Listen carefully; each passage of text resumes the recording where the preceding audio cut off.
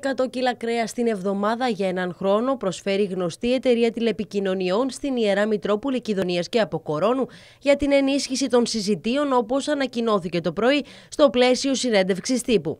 Για τρίτη συνεχή χρονιά δείχνει την εμπιστοσύνη της και την αλληλεγγύη της στο έργο της τοπικής μας εκκλησίας και πιο συγκεκριμένα στο έργο των συζητίων αλλά κυρίως για το παράδειγμα που δίνει ως εταιρεία κοινωνικά ενεργή και ευαισθητοποιημένη παρότι ο κόσμος μας σήμερα χυμάζεται από την ολοένα αυξανόμενη οικονομική δυσπραγία σε μια εποχή που οι ανάγκες έχουν αυξηθεί και όλο ένα και περισσότεροι πολίτες ζητούν ένα πιάτο φαγητό από την Εκκλησία, η κίνηση αυτή της εταιρείας τηλεπικοινωνιών χαρακτηρίστηκε πολύ σημαντική.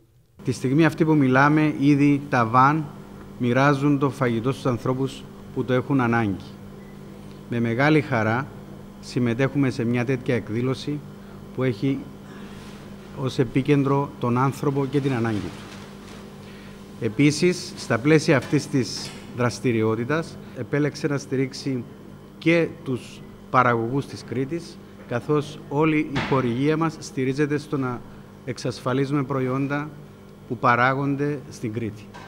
Πάντως, ο αριθμός των μερίδων που προσφέρονται σήμερα είναι τετραπλάσιος από τότε που ξεκίνησαν τα συσίτια της Ιεράς Μητρόπολης Κιδωνία και Αποκορώνου τον Ιούλιο του 2011. Με τη συνεργασία αυτή εξασφαλίζεται για άλλη μια χρονιά η κάλυψη μέρους της διατροφής των 750 ωφελουμένων του προγράμματος του συσιτίου.